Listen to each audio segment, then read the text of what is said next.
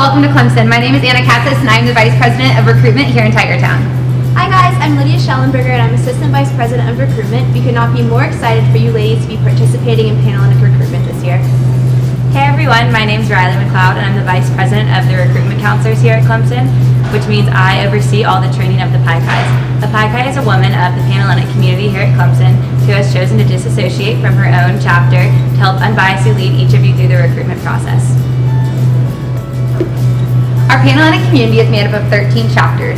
Each one is special in its own way and is full of diverse members.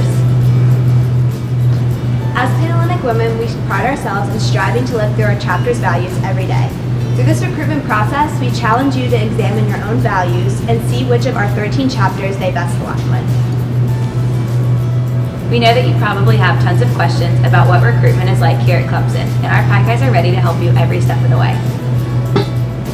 You are going to learn so much as you watch these modules. Everything that you hear is going to help you to learn more about Greek life here at Clemson, the recruitment process, and will help you transition into the Clemson family. I encourage you to really listen as you are going through these and make note of any questions that you might have.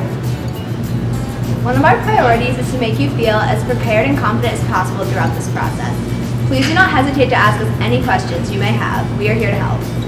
All of our contact information can be found under the About Us tab at www.clemsonpanhellenic.com. We also encourage you to learn more about the Greek community as a whole at www.clemsongreeks.com. Remember, we were here in your shoes not too long ago and know exactly how you are feeling. There's no need to be nervous, and we want you to enjoy this exciting time. We cannot wait to meet you in August.